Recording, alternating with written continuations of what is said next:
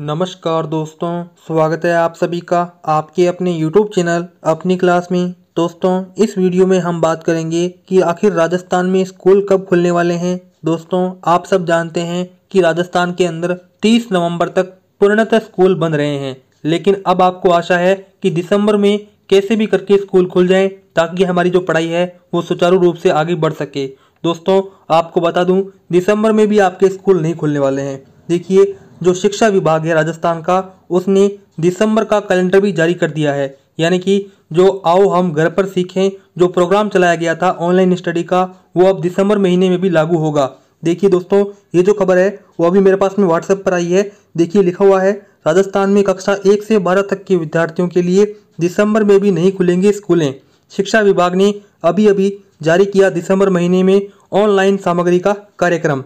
आओ घर पर सीखें प्रोग्राम द्वारा ही विद्यार्थियों को घर बैठे ऑनलाइन पढ़ाई दिसंबर महीने में करवाई जाएगी। यानी कि राजस्थान के अंदर कक्षा एक से बारह तक के विद्यार्थियों के लिए स्कूलें दिसंबर महीने में भी नहीं खुलने वाली है। अब भी आपको अपने घर बैठकर पढ़ाई करनी होगी। दोस्तों, आप सब जानते हैं कि नवंबर के अंदर राजस्थान सरकार ने दूरदर्शन पर विद्यार्थियों को कहा था कि आप ऑनलाइन पढ़ाई कीजिए। उसी प्रकार से दिसंबर महीने में भी आपको दूरदर्शन चैनल है, उस पर पढ़ाई करनी होगी। उसका जो कैलेंडर है दिसंबर महीने का, वो जारी हो चुका है। वो आपको मैं कुछ देर में दिखाता हूँ। देखिए, लिखा हुआ है, राजस्थान में दिसंबर महीने में भी बंद रहेंगे सभी शिक्षण संस्थान, यानी कि कॉलेज, स्कूल, कोचिंग सेंटर, जितने भी शिक्षण संस्थान हैं, वो अब दिसंबर के पूरे महीने में पूर्णतः बंद रहने वाले हैं। दोस्तों, आप देख सकते हैं, राजस्थान सरकार ने दिसंबर महीने का कक्षा 9 से 12 तक के विद्यार्थियों के लिए ऑनलाइन स्टडी का जो कार्यक्रम है, वो जारी कर दिया है। आप देख सकते हैं, यहाँ पे लिखा हुआ है, कक्षा 12 के विद्यार्थियों के लिए अकादमिक कैलेंडर और जो माह है, वो बताया गया है दिसंबर 2020 यानी कि दोस्तों, दिसंबर 2020 का जो ऑनलाइन स्टडी होगी, दूरदर्शन पर, उसका कार्यक्रम है, वो जारी हो चुका है। इसमें आप वार और दिनांक देख सकते हैं, एक बारह 2020 मंगलवार को आपको हिंदी अनिवार्य के अंदर ये टॉपिक पढ़ाया जाएगा। अंग्रेज़ी अंग्रेज़ी अनिवार्य के अंदर ये होगा, संस्कृत वाड्यम के अंदर ये होगा, हिंदी साहित्य के अंदर ये होगा। इस प्रकार से सब्जेक्ट वाइज हर दिन आपको जितने भी टॉपिक करवाए जाएँगे, उसकी लिस्ट है, वो आ चुकी है। ये जो आपको ऑनलाइन स्टडी कराई जाएगी, ये आपको दूरदर्शन पर कही जानी है। दोस्तों, उसी प्रकार से कक्षा दसवीं के विद्यार्थियों के लिए भी ऑनलाइन स्टडी का कार्यक्रम जारी किया गया है, जो कि दिसंबर महीने का है। आप देख सकते हैं, यहाँ पे संस्कृत विषय, हिंदी विषय, अंग्रेज़ी विषय, गणित विषय, विज्ञान विषय और सामाजिक विषय का जो प्रतिदिन कार्यक्रम है, वो जारी किया गया है। आपको इसमें सभी टॉपिक्स मिल जाएँगे। आप ये जो टॉपिक हैं, वो अपने दूरदर्शन चैनल पर जाकर पढ़ सकते हैं। दोस्तों, इस प्रकार से आपको जानकारी देनी थी कि आपके जो स्कूल हैं, वो अब दिसंबर महीने में नहीं खुलने वाले।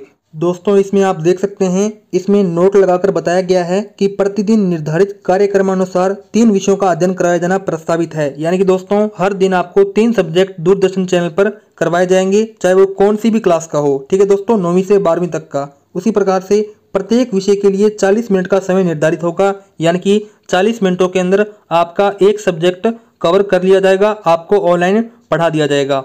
दोस्तों, अब तो आपको यकीन हो ही गया होगा कि दिसंबर महीने में भी आपके स्कूल नहीं खुलने वाले। दोस्तों, यदि आप किसी भी प्राइवेट स्कूल या फिर गवर्नमेंट स्कूल में पढ़ते हो और आपकी स्कूल दिसंबर महीने में भी खोली जा रही है तो दोस्तों, आप बेझिझक कलेक्टर ऑफ़िस में शिकायत कर सकते हो और उस स्कूल के जो प्रिंसिपल हैं, उस पर कड़ी कार्रवाई करा सकते हो।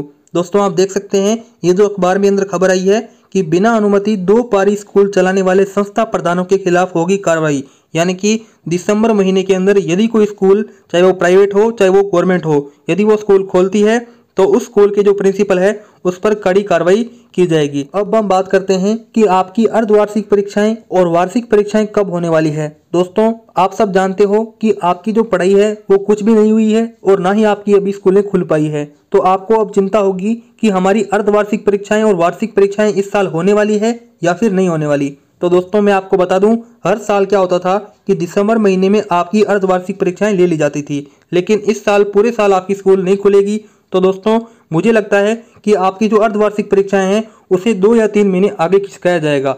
यानी कि दोस्तों, जो दिसंबर महीने के अंदर आपकी अर्धवार्षिक परीक्षाएँ होती थी, वो अब फरवरी 2021 के अंदर होगी। कब होगी दोस्तों? फरवरी 2021 के अंदर आपकी अर्धवार्षिक परीक्षाएँ ली जाएगी। दोस्तों, मैं आपको बता दूँ, आपकी जो दूरदर्शन पर ऑनलाइन स्टडी चल रही है, कृपया करके आप उसे ज़रूर पढ़ें, उसे आप उन क्लासों को ज़रूर लें क्योंकि दोस्तों, आपके जो सत्रांक के नंबर होते हैं, बीस नंबर, वो उसी ऑनलाइन पढ़ाई के माध्यम से दिए जाएँगे। यानी कि उसी ऑनलाइन पढ़ाई के आधार पर आपके सत्रांक के नंबर दिए जाएँगे। तो आप उस ऑनलाइन स्टडी को ज़रूर लीजिए। उसमें आपका टेस्ट होगा। उस टेस्ट के आधार पर आपके सत्रांक के नंबर भेजे जाएँगे। आपको बता दूँ, आपकी अर्धवार्षिक परीक्षाएँ फरवरी 2021 में होगी। उसी प्रकार से आपकी जो बोर्ड परीक्षाएँ हैं, वो हमेशा मार्च के अंदर होती थी। तो इसमें इस साल आपकी जो बोर्ड परीक्षाएँ हैं, वो 2021 के अंदर होगी, मई 2021 के अंदर। तो दोस्तों, आपको पता चल गया होगा कि आपकी जो स्कूलें हैं, वो तो अब खुलने वाली नहीं है इस साल, दिसंबर महीने में भी बंद रहेगी, और आपकी जो अर्धवार्षिक परीक्षाएँ हैं, वो होगी यहाँ पे आपके फरवरी 2021 में, और जो आपकी वार्षिक परीक्षाएँ हैं, वो होगी आपके मई 2021 में। दोस्तों, इस प्रकार से आपको इस वीडियो में जानकारी देनी थी कि आपकी जो स्कूलें हैं, वो इस साल दिसंबर महीने में भी नहीं खुलने वाली। यानी कि दोस्तों, अब भी आपको स्कूलों को खुलने को लेकर इंतज़ार करना होगा, आशा रखनी होगी। दोस्तों, मैं उम्मीद करूँगा कि आपकी स्कूलें जल्द खुले और आपकी जल्द पढ़ाई शुरू हो सके। दोस्तों, यदि आपको मेरी ये जानकारी पसंद आई हो तो इस वीडियो को लाइक ज़रूर करें और इस वीडियो को शेयर ज़रूर करें। दोस्तों, मिलते हैं नेक्स्ट वीडियो में। तब तक के लिए जय हिंद, जय भारत।